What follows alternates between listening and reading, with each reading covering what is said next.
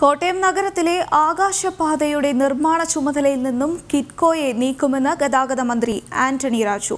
കിറ്റ്കോ അധികൃതരുമായി നടത്തിയ ക്ഷമിക്കണം ചർച്ച നടത്തിയ ശേഷമാകും അവരെ നിർമ്മാണ ചുമതല കരാറിൽ നിന്നും നീക്കുക. ഇതിനായി ജില്ലാ കളക്ടറെ കോട്ടയത്ത് ചേർന്ന അവലോകന യോഗം ചുമതലപ്പെടുത്തി. കഴിഞ്ഞ തെരഞ്ഞെടുപ്പിൽ കോട്ടയം നിയോജക മണ്ഡലത്തിലെ ഏറ്റവും വലിയ രാഷ്ട്രീയ ചർച്ചയായിരുന്നു നഗരത്തിന് നടുവിലെ ആകാശപാത.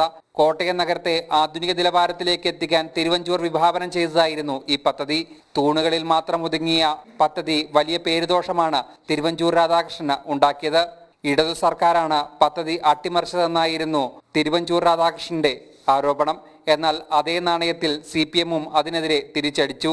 ആരോപണ പ്രത്യാരോപണങ്ങൾ നിലനിൽക്കെയാണ് ഗതാഗത മന്ത്രി ആന്റണി രാജുവിന്റെ നേതൃത്വത്തിൽ കളക്ടറേറ്റിൽ അവലോകന യോഗം ചേർന്നത്. ആകാശപാതയുടെ നിർമ്മാണ ചുമതലയിൽ നിന്നും കിറ്റ്കോയെ ഒഴിവാക്കുമെന്ന് മന്ത്രി ആന്റണി രാജു പറഞ്ഞു. കിറ്റ്കോയുമായി ചർച്ച ചെയ്തതിനു ശേഷമായിരിക്കും മുന്നോട്ടുള്ള നടപടി. ഇത് കിറ്റ്കോയുടെ ഒരു നിസ്സഹകരണം എന്ന് വേണമെങ്കിൽ പറയാം. അല്ലെങ്കിൽ നിർമ്മാണ പ്രവർത്തനം നടത്താൻ കിറ്റ്കോയ്ക്ക് കഴിയാതെ പോയതുകൊണ്ട്. ഇനിയിപ്പോൾ കിറ്റ്കോയെ വെച്ചുകൊണ്ട് ഈ പ്രവർത്തനം ഇതിന്റെ ഒരു അടുത്ത ഘട്ടത്തിലേക്ക് പോകാൻ കഴിയില്ല.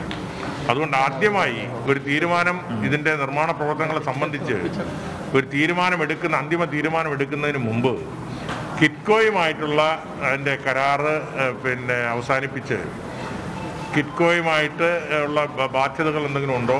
കിറ്റ്കോയുടെ അഭിപ്രായം എന്താണ്? ഏതായാലും കിറ്റ്കോയുമായി ഈ പ്രവർത്തനം മുന്നോട്ട് പോകാൻ കഴിയില്ല എന്നൊരു ഒരു നിഗമനത്തിലേക്കാണ് എത്തിയിരിക്കുന്നത്. നിർമ്മാണത്തിലുണ്ടായ വീഴ്ചയ്ക്ക് കാരണം കിറ്റ്കോയാണെന്നും മന്ത്രി വ്യക്തമാക്കി. മന്ത്രി V N Vasavan Thiruvanchoor Radhakrishnan M L A collector P K Jayasree എന്നിവരും അവലോകന യോഗത്തിൽ പങ്കെടുത്തു. ജനം കോട്ടയം.